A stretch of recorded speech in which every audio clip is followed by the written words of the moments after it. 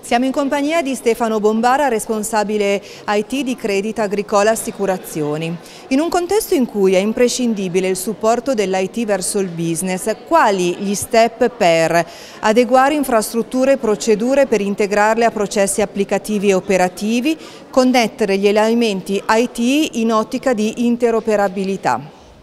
Eh, buongiorno, eh, per quanto riguarda la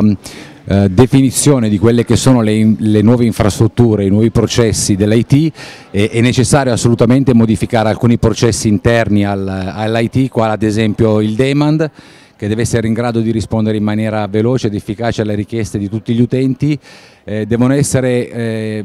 impostate delle strategie di integrazione dei dati tra il back-end e il front-end e deve essere reso il dato fruibile nella miglior maniera possibile a tutti i livelli e in, modo, in tempi molto immediati.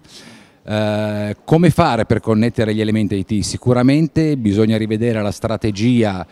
di eh, infrastruttura che le compagnie devono utilizzare, devono essere delle integrazioni il più possibile eh, sicure, perché oggi non, è, non, si può prescindere dalla sicurezza, devono essere delle integrazioni che garantiscono la qualità del dato e che lo mettano a disposizione per tutti gli utenti e per tutti quanti i processi nella miglior maniera possibile e nel miglior, minor tempo possibile.